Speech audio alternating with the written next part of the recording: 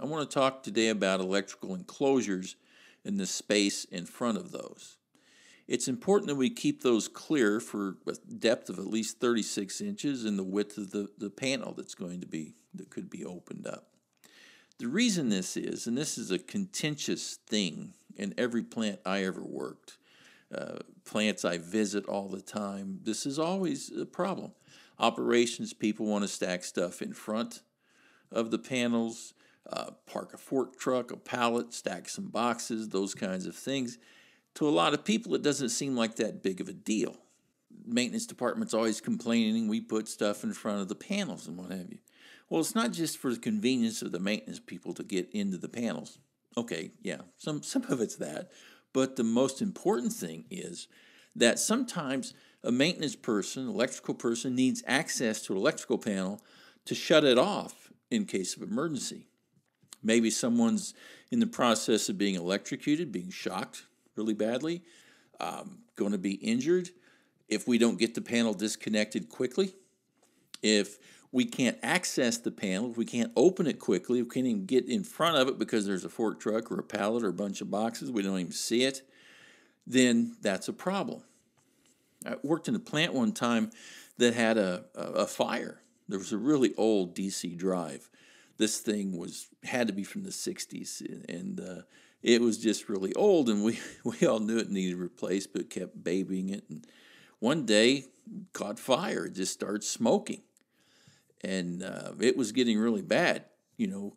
And if we couldn't have gotten access to that disconnect to shut that thing off, the fire would have gotten a lot worse and could have spread to other equipment, possibly destroyed other equipment or injured somebody. So there are times where we need access to an electrical panel.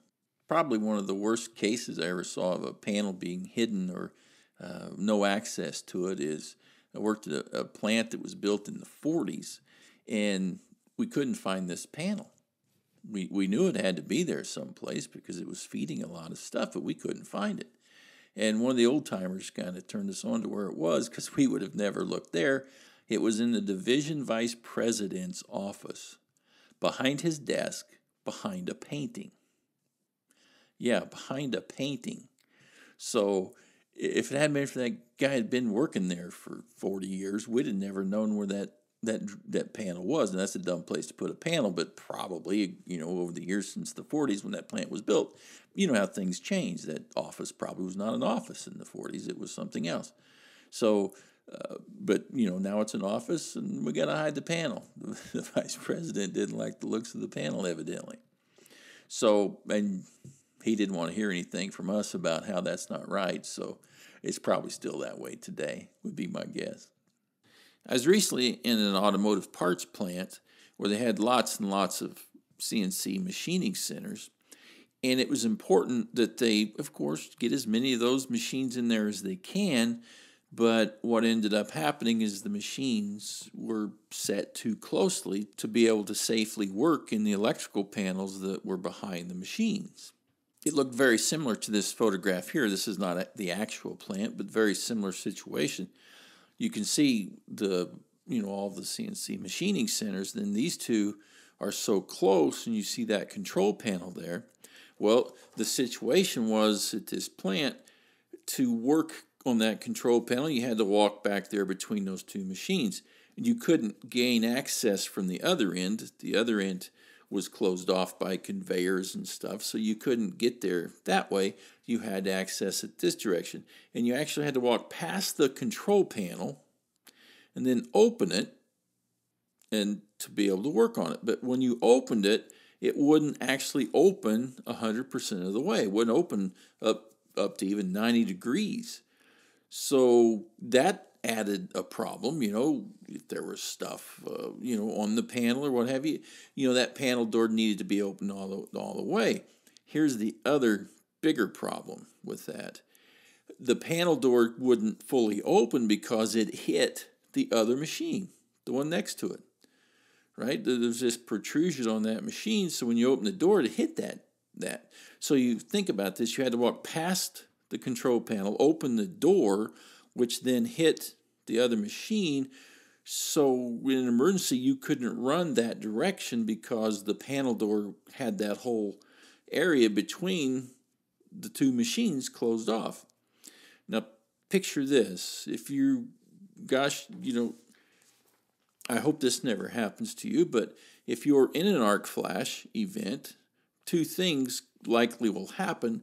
You will be deafened by the loud sound and you'll be blinded by the bright light. Now picture yourself back in there between these two machines and an arc flash occurs and you get blinded and deafened. How, how, how are you going to get out of there? You know, you, you may realize what direction you need to go to get out of there, and things may still be on fire, but you can't. You run into the that panel that is is open and, and stuck on, you know, hitting the protrusion on the other machine. So, how are you going to get out of there? I understand is we have to put machines close together. That that'll never change. I mean, it's production, right? But what can you do to fix that?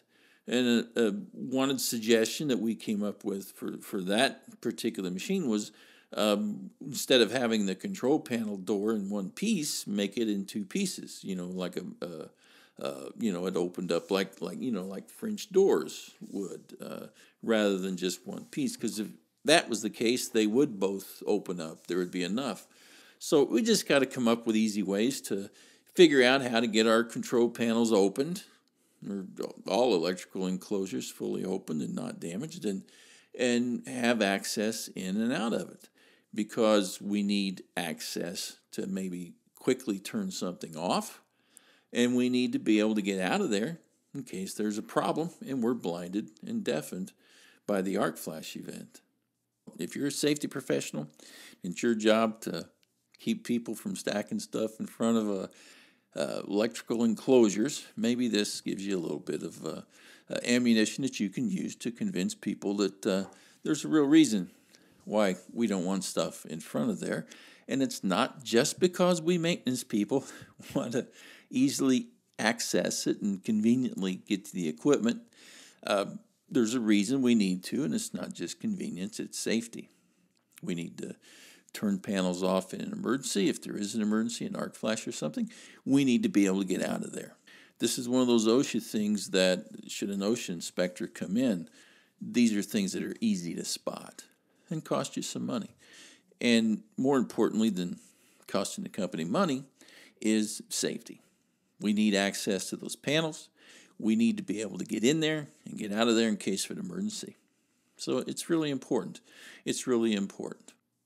I hope this video helped you today. And uh, so visit our website, electricaltrainingpro.com. Look at other videos that we have there. Suggest videos that, that uh, you would like to see. And uh, my email address is, is on the screen. So uh, feel free to drop me a line and uh, ask me anything you, you would like. I, I answer questions all the time. Thank you and have a good day.